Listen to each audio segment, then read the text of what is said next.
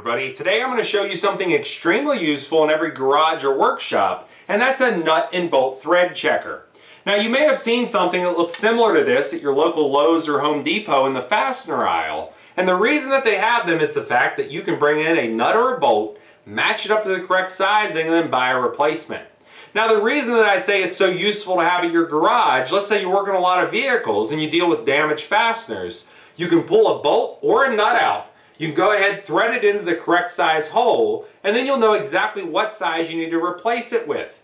Now this does internal as well as external threads in standard and metric sizing. So it's pretty much going to cover every single thing that you're going to deal with. And if you deal with things like, let's say, retapping holes, you can take a nut or a bolt, go ahead and match it up to the correct sizing, and then you're even going to know what size tap to use.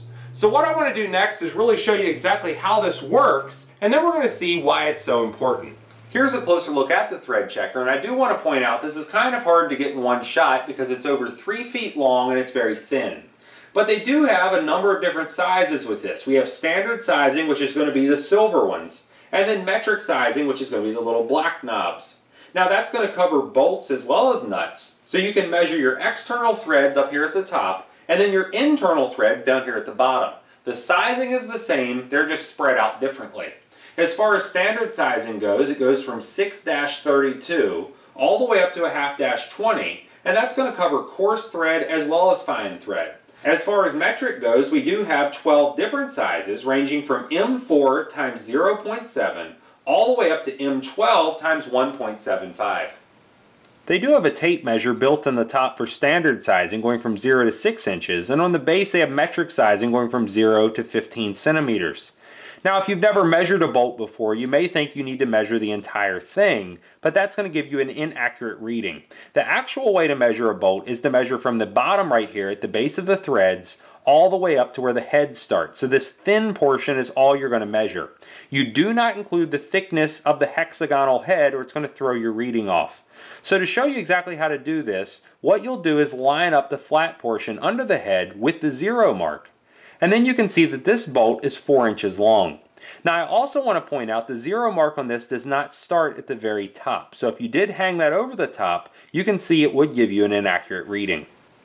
If you want to hang up something on your wall but you don't have a stud to screw into, then many times you're stuck using these little plastic wall anchors. You have to drill a pilot hole, tap these in place, and then use the correct size screw to go into them so they'll expand correctly and they won't fall out.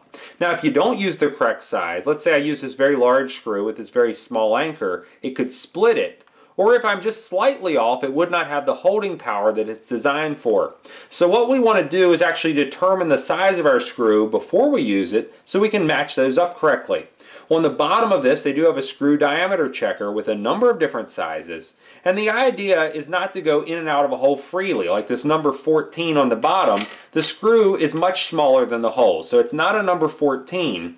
If I move it up here to a number 4, only the very tip is going to go in. It's not going to thread in at all, and that's much too small. So what you're going to do is line this up with whichever one you think is correct, and what you're looking for is where it's going to go in, but it's not going to go all the way in. So just the tip of it will go in, it's going to be in there straight.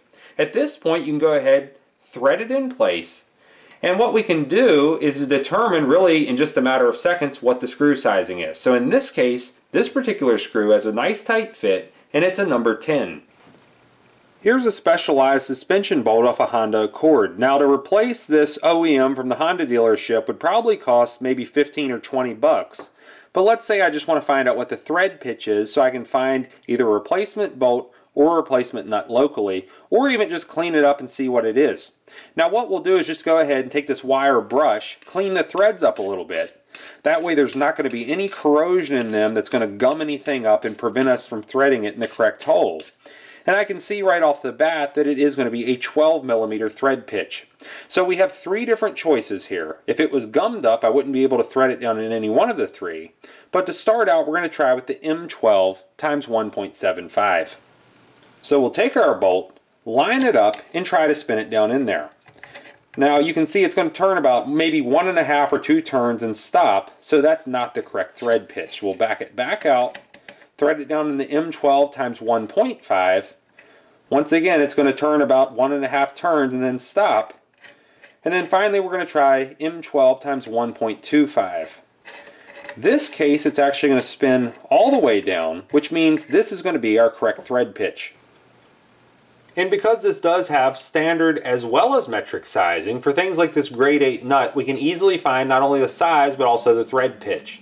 So lining it up, I can see it is a half inch thread, but to check whether it's coarse or fine thread, which the coarse thread would be a half dash 13, or 13 threads per inch of rod, or a half inch dash 20, which would be 20 threads per inch. We'll go ahead and just line it up. So starting it out with a half inch 20, I'll go ahead and try and spin it on there. It will not even make it one revolution and it won't go on any further. So when I move it over to the half inch by 13, you can see it will spin all the way down, so that's going to be our correct sizing. The only modification that I've needed to make to this is to widen the mounting hole so I can hang it by a drywall screw. Now in order to do that I did use a step drill bit and I not only had to drill the front but also the rear because this is not a solid piece of steel. So if you choose to do that and you want to widen that hole, just keep in mind you need to drill out both sides to get it to fit correctly. Because I widened the mounting hole with that step drill bit, now I'm able to hang it by a drywall screw. Now right out of the box the hole's much too small for a regular screw and you have to use a very thin nail.